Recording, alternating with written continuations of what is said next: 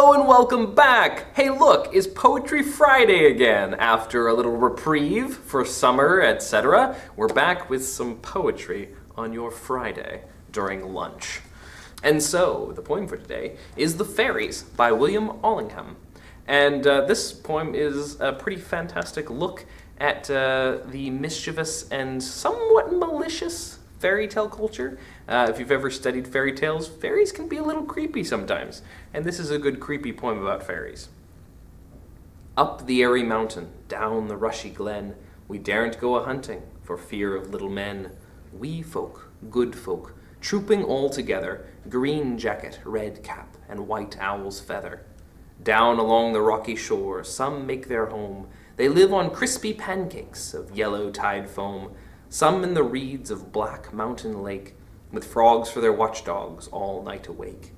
High on the hilltop the old king sits. He is now so old and grey, he's nigh lost his wits. With a bridge of white mist, Columbkill he crosses, on his stately journeys from Slieve League to Rosses, or going up with music on cold starry nights to sup with the queen of the gay northern lights. They stole little Bridget for seven years long, when she came down again, her friends were all gone.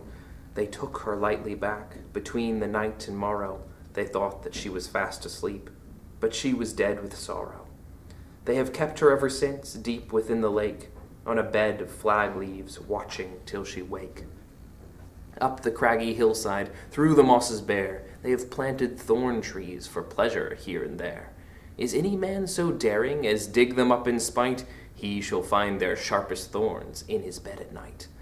Up the airy mountain, down the rushy glen, we daren't go a hunting for fear of little men.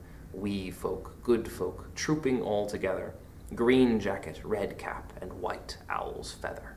The poem dabbles in some of the fairy tale culture of the stolen child, and with Bridget, and with some of the mischief that fairies play on uh, country people. You should look more into the traditional fairy tales and, uh, and look, for example, at uh, Shakespeare's Midsummer Night's Dream with Puck, the mischievous fairy. There's a lot of great culture in that. It's maybe a bit of a reminder that fairy tales aren't always so pleasant and pretty as we paint them to be in like Disney movies. In fact, if you'd like to see one of my renditions of one of the creepiest fairy tales out there, click right here and you can hear more about the juniper tree. That's all for today, because I've got a busy lunch, but I hope you have a lovely day. Keep enjoying the poetry, and I will see you next week when we pick back up. Look, it's like something normal. It's a granola bar.